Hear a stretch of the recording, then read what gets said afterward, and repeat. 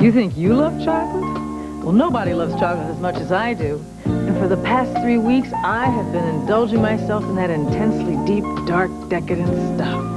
And you know what? I lost eight pounds with two fabulous flavors on the Ultra Slim Fast plan. Rich chocolate fudge and creamy chocolate malt. Believe me, losing weight has never tasted so good. Now buy one and get one free. Ultra Slim Fast. Give us a week. We'll take off the weight.